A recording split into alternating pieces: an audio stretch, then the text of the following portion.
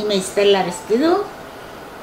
Η οικογένεια της μάνας μου, της μητέρας μου, ήταν από τους Αγίους Ομολογητές, παππούδες, προπαππούδες και γεννήθηκα στην Ενωρία εδώ το 1945. Λέγομαι Λοΐζος Παναγίδης. Είμαι 85 ετών τώρα. Είμαι από το καμπίν του Φαρμακά και ξεκίνησα και έφτανα Λευκοσία από 12 χρονών και έκανα διάφορα επαγγέλματα. Εγώ είμαι ο Ανδρέας του Παναγίδης, ο γιος του κ. Λοϊζού και ο άγκωνας του Πέτρου του Παναγίδη, που τον ξέρουν πολλά καλά στους Αγίους Ομολογητές.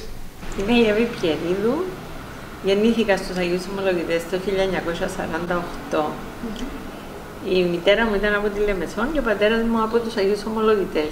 Αλλά το πρώτο του σπίτι τον ήγιασαν εδώ και ήταν το σπίτι του Κουμπί, που ήταν ο νεοκόρος των Αγίων Ομολογητών.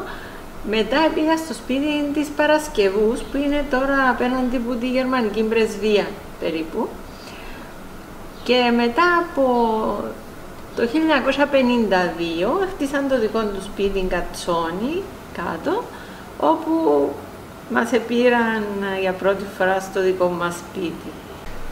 Λοιπόν, είμαι ο, λέγομαι Ανδρέας Χαραλαμπίδης ε, και γεννήθηκα το 1946. Δηλαδή είμαι 70, ε, σχεδόν 75 χρόνια.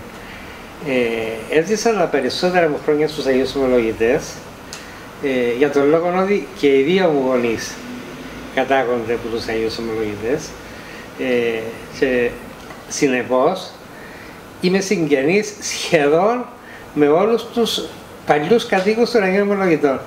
Ε, συγγένεια που πά, πάει πίσω πάρα πολλά χρόνια και που το ανακαλύπτω τώρα που μελετώ βασικά το γενεαλογικό δέντρο ε, ε, ώστε ε, ξέρω πολλά για τη γειτονιά και υπέραγα από τη γειτονιά και αυτός είναι ένας λόγος που έμεινα εδώ και δεν έφυγα